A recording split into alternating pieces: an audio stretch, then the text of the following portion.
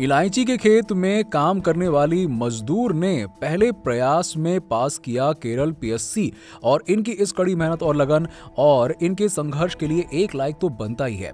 कुदरत ने इंसान को हर विपत्ति का सामना करने लायक बनाया है। मुसीबतें चाहे कितनी भी बड़ी क्यों ना हो, इंसान के आत्मविश्वास, मेहनत और लगन के आगे घुटने टेक ही देती हैं। प्रतियोगिता परीक्षाओं की हमारे देश में अलग अहमियत है। नाम और रुतबे का प्रतीक बन चुकी सरकारी नौकरी निकालना आसान नहीं है। सीटें कम होती हैं और फॉर्म भरने वाले लाखों करोड़ों। ऐसी ही एक घटना सामने आई है जिसमें इस मजदूर लड़की ने काफ़ी कष्ट, सहकर भी सफलता हासिल की है। ये घटना केरल की है। है। 28 वर्षीय सेल्वा कुमारी ने पहले ही अटेम्प्ट में केरल पीएससी की परीक्षा पास कर ली है। सेल्वा कुमारी की माँ इलायची के खेत में काम करती थी और सेल्वा कुमारी ने भी इलायची के खेतों में काम करते हुए ये करिश्मा कर दिखाया।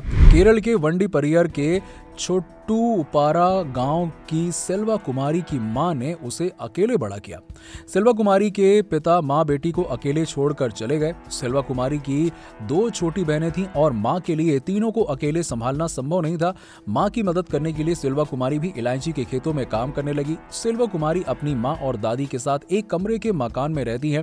और इतनी मुसीबतों के बावजूद उन्होंने पढ़ाई नहीं छोड़ी। सेल्वा कुमारी ने गवर्नमेंट विमेंस कॉलेज तिरुवनंतपुरम से मैथ्स में ग्रेजुएशन किया।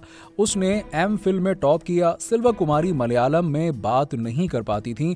कॉलेज और क्लास में इस वजह से उसका मज़ाक उड़ता। सरकारी नौकरी पाने का सपना देखने वाली इस मेहनती लड़की को इससे फ़र्क नहीं पड़ा। तो इस मेहनती और संघर्षशील लड़की के बारे में आपकी क्या राय है? नीचे में कमेंट सेक्शन में कमेंट करके ज़रूर बताइए और इस वीडियो को फेसबुक और व्हाट्सएप पर ज़्यादा से ज़्यादा शेयर करें।